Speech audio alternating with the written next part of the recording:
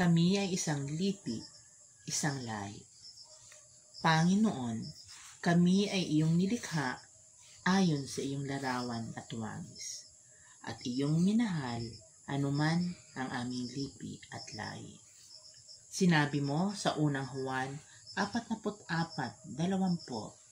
Kung sasabihin ni naman, iniibig ko ang Diyos, ngunit napupuot naman sa kanyang kapatid, siya ay sinungaling.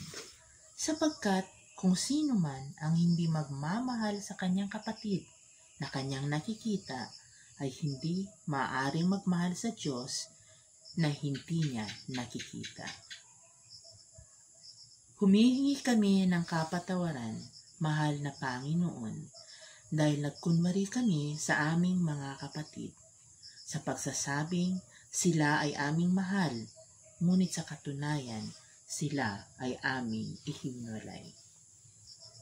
Mahal na Jesus, tulungan mo kaming magmahal na walang kondisyon.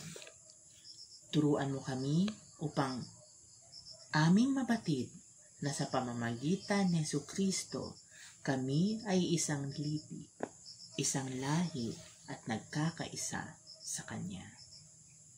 Nagpapasalamat kami, Panginoon, na una mo kaming minahal. Naway sa pamamagitan ng iyong biyaya ay magagawa naming mahalin ang isa't isa. Sa pangalan ni Yesu Kristo, kami ay nananalangin. Amen.